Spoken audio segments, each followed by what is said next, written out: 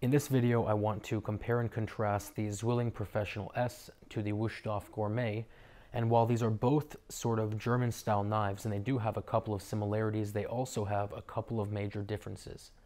They are made of very similar steel, 57 hardness for the Zwilling and 58 hardness for the Wüsthof, but the Zwilling is forged while the Wüsthof is stamped. The Zwilling is handmade while the Wüsthof is machine made, and the biggest difference I think comes in terms of the cutting angle.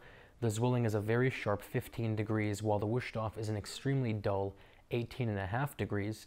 And to put that in perspective, you can use the Zwilling to shave, but you cannot do the same thing with the Wüsthof. Both have full tangs going into German handles. The handle of the Zwilling is a more traditional twin scale triple riveted handle, and it has a nice weight to it.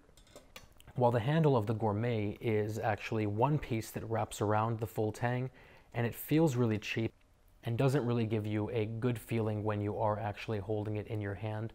I'm not that big of a fan of it. They both have lifetime warranties, and it really comes down to personal preference. I'll put a link down to both below. If you have any questions, any comments, or any concerns, let me know. And otherwise, I will talk to you very, very soon.